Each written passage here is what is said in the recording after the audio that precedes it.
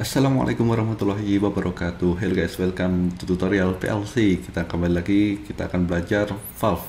Di pneumatik Kita akan lanjut lagi di part yang ketiga. Oke, teman-teman sudah paham apa itu valve? Kemudian teman-teman juga sudah paham detail dari valve. Untuk yang part ketiga ini kita akan belajar yaitu throttle valve dan check valve. Benda yang ada di gambar ini ini adalah throttle valve yang di dalamnya biasanya itu ada jack valve juga seperti itu. Tapi ada juga jenis yang cuma throttle valve saja tidak ada jack valve nya seperti itu. Oke kita akan lanjut lagi ke fluid sim ya. Jadi kita buka fluid sim. Di sini saya sudah sediakan ya. Di sini ada rangkaian pneumatik. Kemudian ini yang pertama ini adalah simbol dari throttle valve. Kemudian di sini adalah simbol dari jack valve dan yang terakhir ini adalah gabungan antara throttle dan check valve seperti itu. Sehingga simbolnya tergabung menjadi seperti ini. Oke jadi sekarang kita akan ini ya masukkan throttle valve ini ke rangkaian ini. Fungsinya itu buat apa sih gitu? Itu untuk mengatur kecepatan aliran udara yang ada dalam rangkaian seperti itu. Kita langsung pakai ini aja deh throttle check valve. Ini kita hapus ya, misalkan kita pakai satu ini ya satu part. Ini kita besarkan dulu.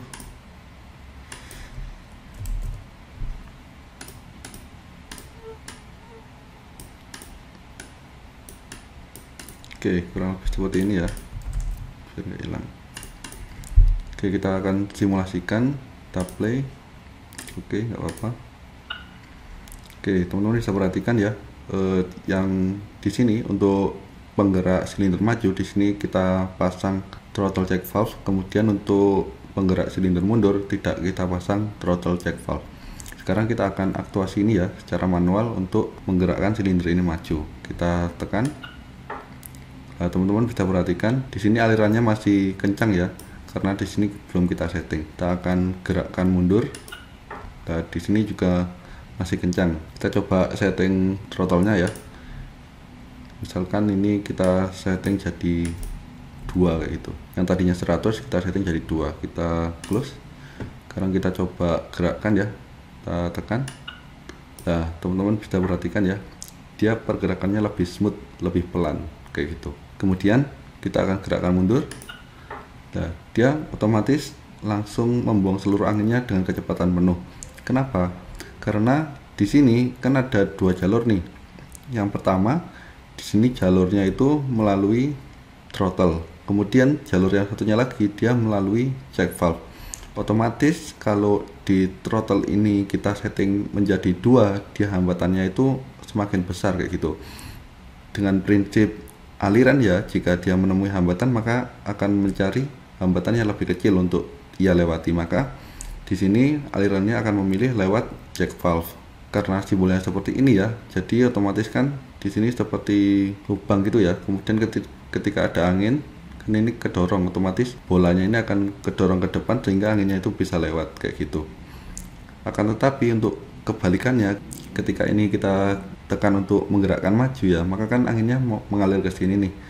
Dan otomatis di sini nanti juga akan ada dua pilihan kayak gitu kalau kita misalkan mau lewat sini nih untuk cek valve otomatis bolanya kan akan kedorong ke sini nih sehingga aliran yang di sini itu akan terhambat. Otomatis mau gak mau alirannya itu akan lewat throttle valve yang sudah kita atur tadi. Sehingga untuk aliran anginnya itu tidak sekencang ketika belum kita atur. Jadinya dia bisa lebih pelan kayak gitu. Kita coba tekan nah otomatis di sini kan ketutup dulu maka dia akan melewati throttle valve seperti itu. Teman-teman juga bisa perhatikan ini kok. Kan kalau full angin kan dia ini garis birunya kan tebal. Kalau nggak full nanti teman-teman perhatikan yang di sini ya. Pasti dia lebih kecil. Kita tekan. Nah ini besar ini kecil nih.